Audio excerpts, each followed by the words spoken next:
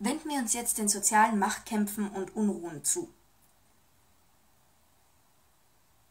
Das römische Imperium breitete sich immer weiter aus und gewann in Asien, Afrika, Gallien und Germanien neue Räume. In Rom strömten Geld, Natur- und Kunstschätze, Sklaven und Freie zusammen. Die Hauptstadt dehnte sich auch immer weiter aus. Die glänzenden Verhältnisse und die außenpolitischen Erfolge konnten aber nicht darüber hinwegtäuschen, dass im Inneren des Reiches eine Krise eingesetzt hatte. Die Struktur der Verwaltung durch Senat und Volksversammlung und die Verfilzung der Interessen und Beziehungen innerhalb der Senatorenschicht waren ein Problem für die Erhaltung des Großreiches. Hinzu kam, dass die Volksversammlung weitgehend aus besitzlosen, gelegentlich auch arbeitslosen Proletariern bestand und aus sich keine wirkliche Kontrolle oder Führungsfunktion entfalten konnte. Caesar nannte später diesen Zustand des Staates Körper ohne Seele. Als brennendstes Problem ergab sich zuerst die soziale Frage.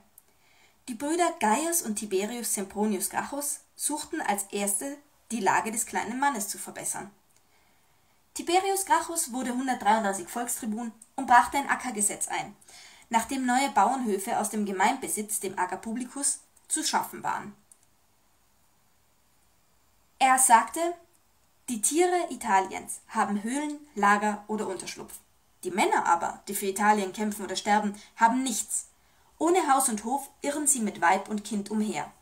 Die Feldherren lügen, wenn sie die Soldaten mahnen, für die Gräber der Ahnen und ihre Heiligtümer zu kämpfen, denn keiner hat einen Hausaltar oder ein Ahnengrab.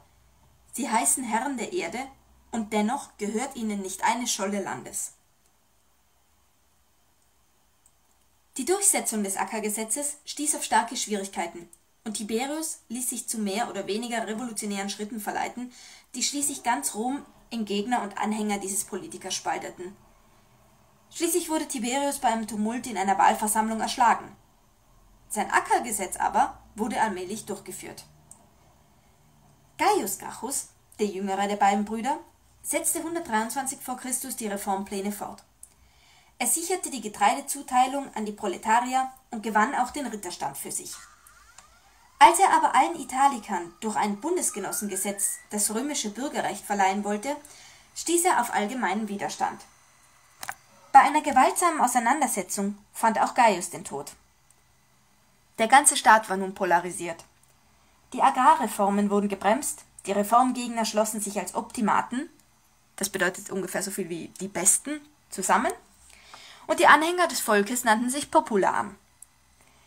Zunächst brachte die Besetzung von Südgallien neues Siedlungsland und damit eine gewisse Erleichterung. Der Krieg gegen den nordafrikanischen König Jugurtha offenbarte aber schon die allgemeine Misswirtschaft. Die Ritter setzten zur Lösung der Probleme einen Homo novus, einen starken Mann ohne Ahnen, Marius, als Konsul durch. Marius triumphierte über Jugurtha und schützte dann Rom gegen die einbrechenden Kimbern und Teutonen. Marius führte auch eine neue Heeresorganisation ein, die zugleich der Lösung der sozialen Frage dienen sollte. Er zog Proletarier zum längeren Kriegsdienst ein, für den sie später eine Bauernstelle erhielten, und zwar in den Provinzen. Damit war eine Entwicklung eingeleitet, die später zur Romanisierung vieler Teile des Imperiums führte. Marius schied nach seinem sechsten Konsulat und vorausgegangenen Spannungen mit den Optimaten 100 v. Chr. aus der Politik aus er war der erste in einer Reihe von Heerführern, die immer mehr den Verlauf der folgenden politischen Ereignisse bestimmten. Der Tribun Marcus Livius Drusus, der den Bundesgenossen das römische Bürgerrecht für eine Abgabe von Bündnerland zur Landverteilungen an Veteranen geben wollte, wurde ermordet. Und die enttäuschten Italiker erhoben sich im sogenannten Bundesgenossenkrieg, der für Rom schwere Niederlagen brachte so verliehen die Römer im Jahre 88 v. Chr. den Aufständischen das römische Bürgerrecht, das freilich zu seiner politischen Ausübung eine wenigstens vorübergehende Anwesenheit in Rom voraussetzte. Im Osten erhob sich König Mithradates von Pontos am Schwarzen Meer, der an einem Tag in Kleinasien 80.000 Römer töten ließ. Gegen ihn wurde von den Optimaten Sulla ins Feld gestellt, während die Popularen Marius beriefen Wegen dieser Streitigkeit um den Oberbefehl entbrannte in Rom ein blutiger Bürgerkrieg zwischen Optimaten und Popularen, beziehungsweise Sullaner und Marianer. mit wechselnden Herrschaften und Verfolgungen in Rom. Schließlich siegte Marius in Abwesenheit Sullas und übte schreckliche Rache an allen seinen Gegnern. Hier wurde zum ersten Mal die politischen Gegner in Massen gnadenlos verfolgt und getötet. Sulla einigte sich mit Mithradates, kehrte nach Italien zurück, besiegte die Marianer und erklärte seinerseits Tausende der Popularen für vogelfrei und ließ sie töten. Hier gab es nun die sogenannten Proskriptionslisten. Er zog ihr Vermögen ein und siedelte auf ihren Gütern seine Veteranen als Kleinbauern an. Im Jahre 82 ordnete Sulla den Staat neu und sicherte die Senatsherrschaft gesetzlich. Dann zog er sich zurück und starb im Jahr 79 vor Christus. Die Verhältnisse allerdings beruhigten sich nicht. In Spanien tobte ein Aufstand und die Sklaven, die sich seit der Grachenzeit immer wieder erhoben hatten, gewannen in Spartacus einen Führer, der sie kriegsmäßig gegen Rom führte. Pompeius und Crassus schlugen allerdings beide Aufstände nieder. Die Aufstände lagen in den Jahren 80 bis 72 und 73 bis 71 vor Christus. Nun gab es einen neuen großen Mann bei den Optimaten, Pompeius. Er vernichtete im Jahre 67 vor Christus die Seeräuber, die sich zu einer schweren Plage entwickelt hatten. Er besiegte Mithradates nun gänzlich und ordnete Kleinasien neu. Bald nannte man ihn Magnus, der Große. Allerdings besaß er nicht die komplette Macht und Unterstützung.